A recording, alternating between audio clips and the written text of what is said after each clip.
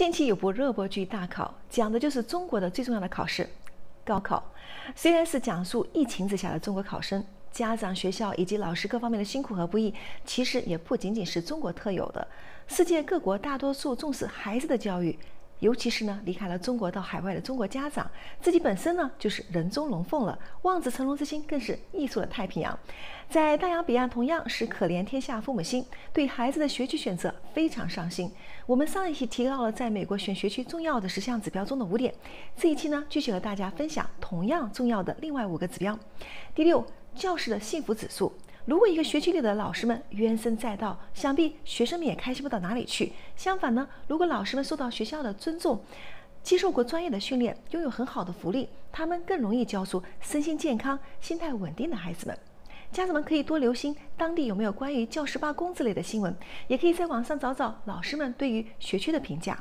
这是在热播剧大考里现身好几个学校，都可以看到一群非常负责任的以学生为中心的好老师们，传道授业解惑，师道传承没有国界。挑选学校一定要关注老师。第七，班级人数以及师生比例。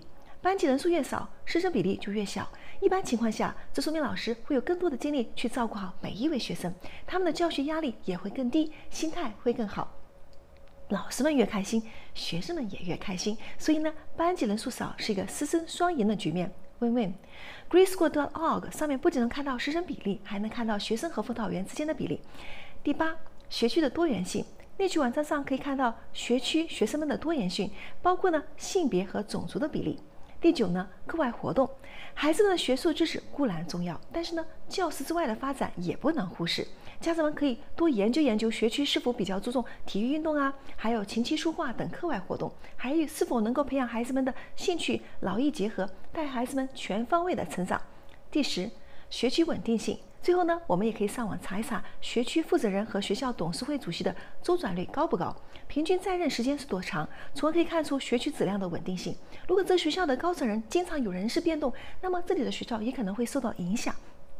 希望今天的内容对父母朋友们有所帮助，千万别忘了点赞收藏，这样你就不用怕下次找不着我了。我是第三世界的陈思迪，点赞关注不迷路，第三世界来带路。我们下期再会。